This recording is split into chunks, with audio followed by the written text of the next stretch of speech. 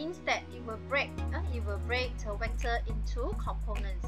So in two dimension we break it into two components which along the x-axis and also y-axis okay so the two component is always be at the right angle. Okay so if let's say they give you the the magnitude so you need to resolve it into x component and also y component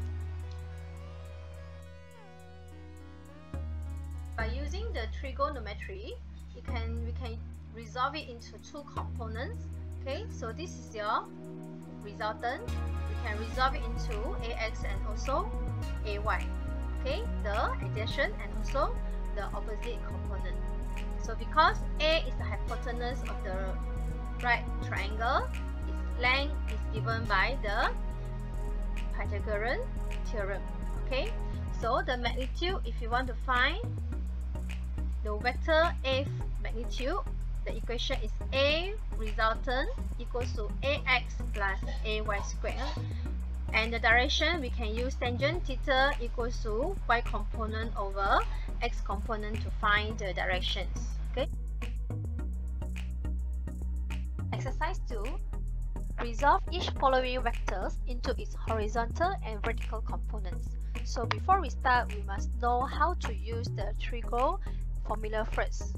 Okay so as you have learned during the secondary school where uh, if this is the theta given okay so the beside we call it adjacent atau or the x component. So the opposite side we call it y component okay? Y component is the vertical component okay? So if let's say you want to uh, write you want to find the sine theta so sine theta is equals to sine theta is equals to the opposite. Okay so opposite over your hypotenuse. Okay or we can write it as y over your hypotenuse. Okay so hypotenuse let's say we write it as the resultant. Okay the magnitude. If you want to find cos the equation for cos is adjacent over hypotenuse okay so adjacent is x over r. r is the hypotenuse. Okay, tangent theta equation is equals to your opposite over adjacent or we can write as y over x. Okay, so let us start questions number one. So they give you the magnitude for the displacement is 100 meter so they ask you to resolve it into x and also y component. Okay, so we can draw a triangle. So meaning that it's moving to the, we can resolve it into right and it is moving upward. Okay, so this is your x-axis, this is your sy. Okay, so x-axis is equals to, x-axis is actually adjacent.